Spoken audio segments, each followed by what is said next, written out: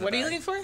Aviators. oh Lawrence's aviators. Oh, I, I guess we have to give them to him in an official ceremony. Oh yeah, okay, let's give them to Lawrence. Okay. There.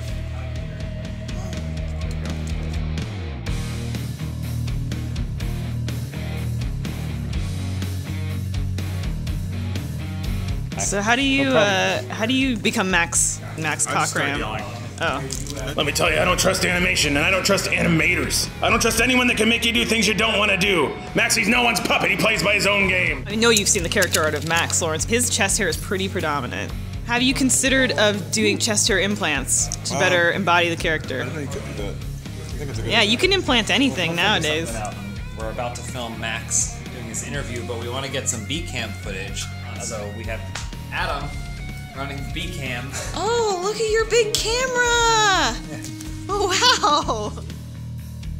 Uh, so tell everybody why the demo disc logo is blocked out. It's funnier if we block out logos that we own. Next question.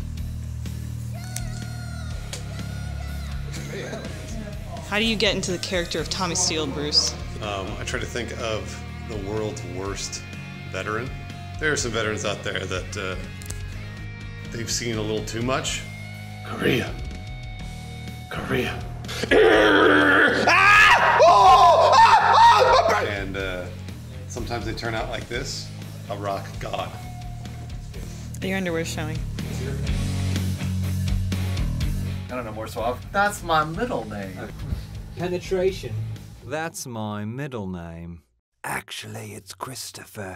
He can be positive, but I guess cartoon Tommy Steele is like it has to be rock and roll. So you like sort of riding the success of sex swingers and just sort of like I a- mean, there's no success of sex swing. Okay, all right. It's just kind of always what it has been and always will be. But no matter what, he never forgets the past. The past. Past. Past.